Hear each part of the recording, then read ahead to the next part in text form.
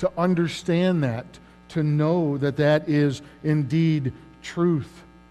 We, we moved on and we talked about several other things like Palm Sunday, that, that week prior to Resurrection Sunday. We talked about the waving of the palms and the triumphal entry when Jesus rode into Jerusalem on that donkey. We talked about the people, why they were celebrating, why they were shouting, what they were shouting, the significance of it, and what it meant at that time. Why, for that moment, the people were ready to give Jesus the praise that he deserved all along. We explored that. Some of us even examined the other various events of, of Holy Week, that week just prior to Easter, the telling of the parables, the cleansing of the temple, the Last Supper, the time in the garden, reviewed all those different things. And then on Good Friday, we gathered together here and we had a Good Friday service. We had prayer and praise and we worshiped the Lord and we shared communion together and we remembered what He did for us so many years ago. And then, of course, last week we celebrated Resurrection Sunday. We sang about it, we talked about it, we celebrated it, we listened to testimonies about what Jesus has done in different people's lives and what that cross represents. And then later that day, I'm willing to guess that most of us went somewhere, gathered with somebody, spent time with others, and we shared a meal together. And we had a, a wonderful time of, of, of, fellowship, but we had food and we ate together. And most likely we went home and complained about eating too much. I know I did. How different things are today than they were 2,000 years ago. Or are they? This morning, I'm going to look at a couple of events that took place on Resurrection Sunday, after the resurrection. Things that took place a little later that same day. See, Jesus rose, yes, but that wasn't the end of it. He continued to minister. He continued to teach. He continued to reach out to people, to meet with people, to talk with people, to comfort people. Later that same day, ministry went on, teaching went on. Let's look at a few things this morning. First of all, Jesus was walking side by side with people that same day. If you look at Luke 24, verses 13 through 35, we're not going to read them all this morning, don't worry. You don't have to listen to me read all those verses. But in Luke 24, those verses tell of two men walking from Jerusalem to a town called Emmaus. They walked on the road together. And as they walked down that road, they started talking about the events that had just occurred over that weekend. Everything that had happened, everything that was going on. They shared with each other, they talked with each other, they even discussed their disappointment with each other. I think it's important to understand that word disappointment there for a minute. You think, this is Resurrection Sunday. Jesus just rode from the dead. How could they possibly be disappointed? Because they walked away realizing that things didn't go exactly as they had planned. Things were not what they thought they were going to be, they were not what they expected them to be. Again, if you'll remember a couple weeks ago, we talked about this. Those waving those palm branches, those celebrating as Jesus rode into town, they were doing so because they thought that Jesus was coming to deliver them from Rome. They were looking uh, at a short sighted deliverance, this immediate, this instant deliverance from the Roman government. They weren't thinking about salvation or long term deliverance in their life. These two were no different. They were walking away disappointed, thinking that things didn't work out just as they had desired them to. As they were walking al- along that road on their way to Emmaus, who should come walking up next to them but Jesus? Jesus. He comes up and walks the road with them he walks up to them and he says, What are you guys talking about? And Scripture tells us that these two did not recognize Jesus. They're on the road walking from Jerusalem to Emmaus. Jesus comes up and walks next to them, and they don't recognize him. So when Jesus says, What are you talking about? These guys are, in their minds, they're going, How could anybody possibly be in this area and not know what has just happened over the last few days? So they kind of look at him in a little bit of disbelief that he didn't know what was going on or what was happening. So Jesus says something else to them, and I absolutely love this part of the text, this part of the scripture. Jesus looks at them and says, Well, why don't you tell me about what's been happening? Jesus asks them to fill him in on his own life. I just find that very interesting. So the two decide that they're going to give the Cliff Note version of, of what happens or what had happened. This was a prophet. We really had hoped he was our deliverer. They crucified him, and now some people are even saying he's back alive and he's not really dead. So Jesus hears them kind of give this quick example, this quick story of what's happened, and he responds this way in Luke 24, verses 25 and 26. He says, How foolish you are, and how slow of heart to believe all that the prophets have spoken. Did not the Christ have to suffer these things and then enter his glory? Scripture even says he, he went on to continue to talk to them and explain to them everything the prophets had said regarding himself. And guess what? These two still did not recognize that it was Jesus walking next to them. Several weeks ago, we, we, we talked about things we never want to hear, and this kind of reminds me of one of those things. We read a portion of Scripture in Matthew where Jesus says to his disciples, Are you still so dull? Here he is, the risen Savior, walking next to them, and they don't recognize him. How could that be?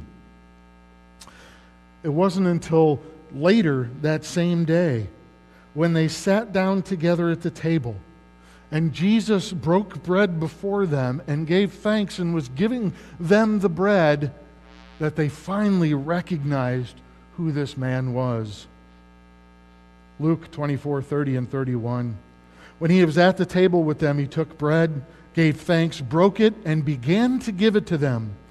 Then their eyes were opened, and they recognized him, and he disappeared from their sight. See, it was at the intimacy of that table. It was at the intimacy of that time of dinner, that, that breaking of bread together, that their eyes were opened and they finally realized it was their risen Savior with them the whole time. Their response is priceless. They asked each other, Were not our hearts burning within us while we talked with us on the road and opened the scriptures to us? They were questioning themselves how could we not have recognized our Savior walking with us? On that very day of his resurrection, these two men who were expecting Jesus to deliver them from Rome didn't even recognize him walking next to them on the road to Emmaus. Not until they had that intimate personal encounter with him, then their eyes were opened. Then they realized who it was. Then they decided we have to go tell everybody about this. And scripture records that they went off and said, It's true, it's true, the Lord has risen. At that point, they finally believed it. Now, I do want to be fair about this. There is a verse in this text that we have to look at as well. Verse 16 of chapter 24 says, But they were kept from recognizing him. They were kept from recognizing him.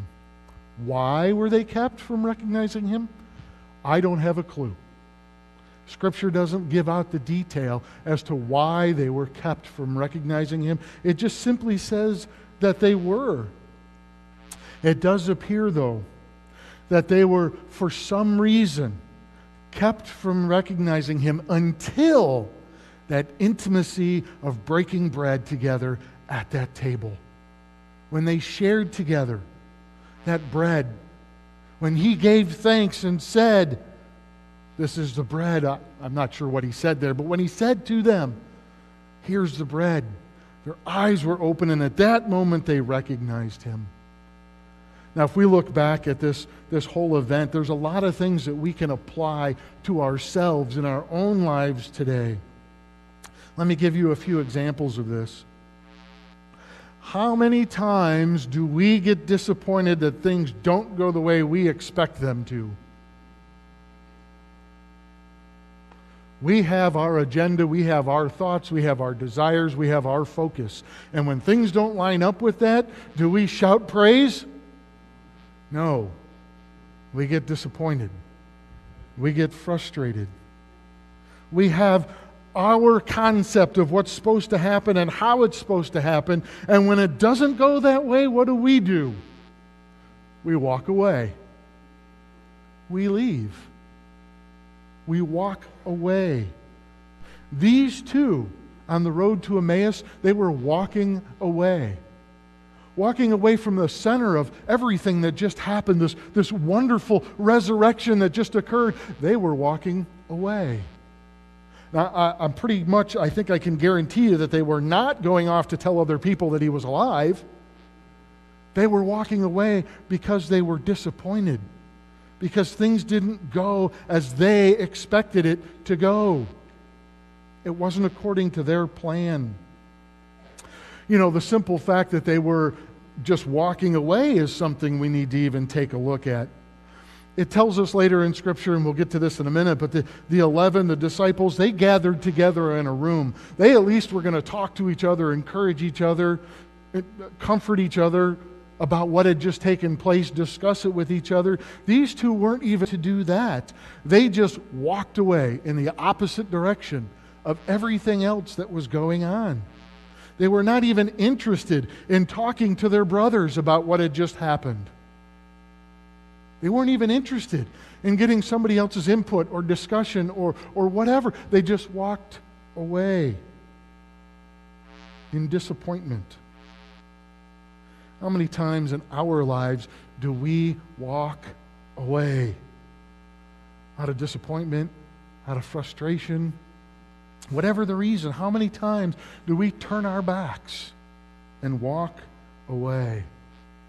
Usually it's because things aren't going the way we want them to go, because things aren't happening the way we want them to happen.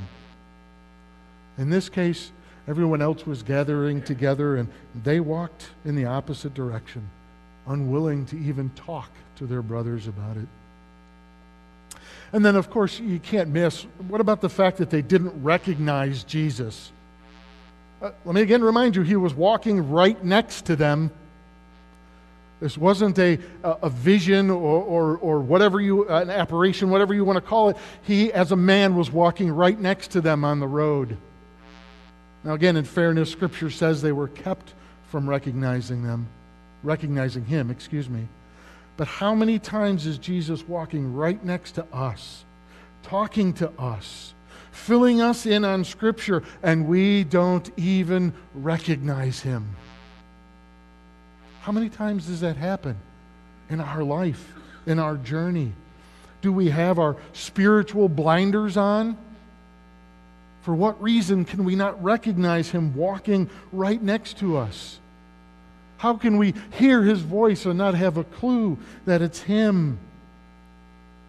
You know, when we do finally stop moving, when we, when we do finally sit still for a moment, when we do finally have some sort of intimate fellowship with him, when we choose to break bread with him, so to speak, then our eyes are opened. Then we begin to see. Then it becomes clear and we understand that it's Jesus that's with us, that's giving us wisdom, direction, discernment, that's walking right next to us. And perhaps, perhaps maybe when that light goes on and our eyes are open, maybe we could even say the same thing these two did. Were not our hearts burning within us? How could we not realize that it was Jesus walking with us all that time? when it does finally click and are finally open, do we respond the way these two responded? Do we immediately get up and go tell others what Jesus has done for us? That's what these two did.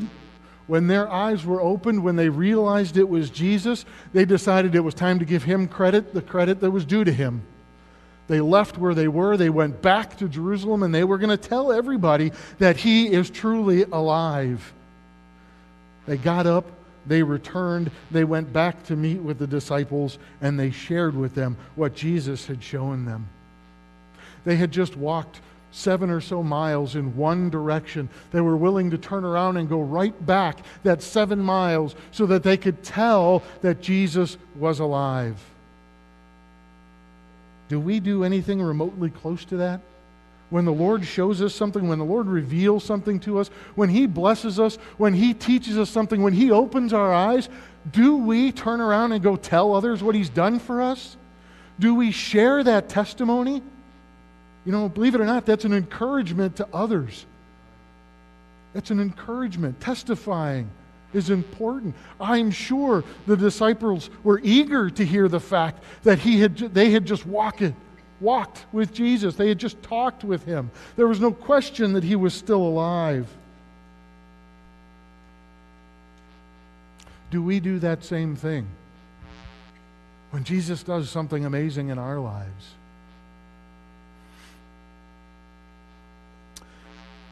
Luke 24 33 says, They got up, they returned at once to Jerusalem. They went and spent the time with the disciples to tell them that indeed he is alive. They went back to tell everyone what he had done for them. When the truth is revealed, do we do the same thing? And you know, when you read through that whole passage, I see it with genuine excitement. It, it wasn't a, oh man, we got to go back now and tell everybody we were wrong. There was excitement there. They were ready to go back. They were ready to testify. They were ready to share what Jesus had done for them. There was excitement in the whole experience.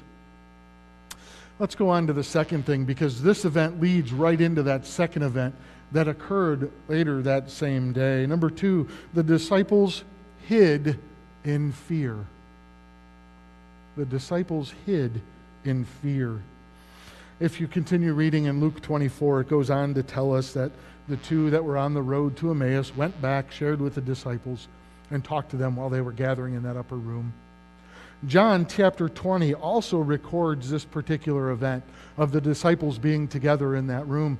And it's a little shorter version, but he gives some very specific words as John writes 2019.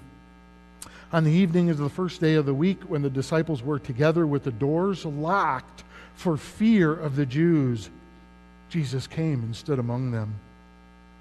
The doors were locked and Scripture very said, plainly says why they were locked. They were locked out of fear.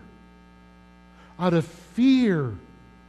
Jesus had just defeated death. Jesus just rose from the grave, and the disciples hid in fear. They weren't celebrating, they weren't doing the victory dance. They were hiding in fear. What was that fear? Fear of the Jews, fear that the Pharisees would come after them next because they were a follower of Jesus, fear to admit that they knew who Jesus was because they didn't want to suffer the same way that Jesus had just suffered. Fear even that they would have been accused of stealing Jesus' body from the tomb. We know that that is a, an accusation that, that uh, went around after Jesus' resurrection. In fact, some still talk about that today. That the disciples took his body. Were they afraid that they were going to be accused of that? Whatever it was, the fear was driving them to hide. But I want you to look at something. No fear could ever stop Jesus from finding them. No fear could ever stop him from gathering together with them. The doors may have been locked. They even could have been barricaded for all we know, but nothing would have been enough to keep Jesus out. even in the midst of their fear, Jesus came to comfort them, to encourage them. Both Luke and John record in their gospel the first words that Jesus spoke when he walked into that locked room Peace be with you. Peace be with you. Those words, as comforting as they might seem, were not even enough for the disciples. They continued to doubt. They continued to question. Jesus had to say to them, Look at me. Look at, I have hands. I have bones. I, it's me. I'm here in flesh. I'm not a ghost. Then he even asked for something to eat, and he ate in front of them. Again, to show to them, this is really me. It's me who's here. Then we get to verse 45 of chapter 24 in Luke's gospel, and we read, Then he opened their minds so they could understand the scriptures. At that moment, a transformation took place. They went from cowering in fear to having their minds opened to the Scripture. They were transformed, they were changed. They were no longer afraid, but they were able to understand Scripture and what Jesus had just done for them. If you go back and read in, in the Gospel of John, where I said this, this uh, account is also listed, it talks about a, a second uh, uh, time that Jesus appeared to all of his disciples. And if you'll remember, the first time Thomas wasn't there. So he meets them again. This time Thomas is there. Uh, Thomas, you know, he wants to make sure that Jesus is really alive because he didn't believe everybody telling them. And this time it says the disciples were also in a room behind a locked door. But guess what? There is no mention of fear whatsoever. They might have still been in a locked room, but there was no fear present in that statement at all. The fear was gone. Their minds were open. Jesus became their source of strength and encouragement from that time on. Here we are, 2,000 years later. And I got to tell you, some of us, in some ways, still live in fear like the disciples did. They feared Roman rule, they feared being persecuted, they even feared their fellow Jew. They feared what others might think. And I got to be honest, today, some of us are bound by that same type of fear. Sure, we call ourselves Christians. Sure, we act like Christians when we're with other Christians. But when we go home, we lock the door, we close it, we hope nobody is ever going to find out who we really are. We get afraid of what other people are going to think of us. We are afraid of sharing our testimony. We are afraid of what others might say about us or what they might say to us. We fear what they, that they might not like us anymore. In fact, it's sad to say, but in a lot of ways, we find it easier to deny him, like Peter did, than we do to stand up and confess that we love him, that he's our Savior, and what he has done for us. The good news is that even today, so many years later, Jesus will still come through that locked door. He will still find you. He will still help you. He will still set you free. He will still comfort you. He will still deliver you from whatever it is that's holding you back. And He will still say to you today, Peace be with you. There's no need for you to fear, there's no need for you to worry. He's still willing to open your mind, open your eyes, open your hearts, and encourage you, just as He did then. You see, all those years ago, on that very day that He rose from the dead, Jesus walked with people. He walked alongside of them, right next to them because he wanted to encourage them, because he wanted to comfort them. He, eh, he explained Scripture to them. He calmed their fears. He opened their eyes because they were spiritually blind.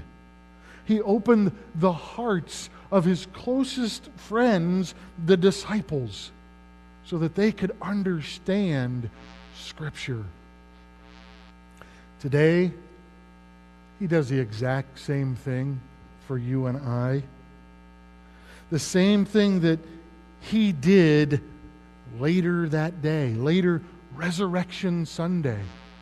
That very day, he walked with people. He encouraged people. He does the same thing today. Side by side, he walks with us, and he will never abandon us or leave us. Today, he helps us to understand Scripture and what Scripture means. Today, He is continually opening the eyes, the spiritual eyes, mind, and heart of people all around us and of us. He continues to encourage us and help us to understand Scripture as, as it is written.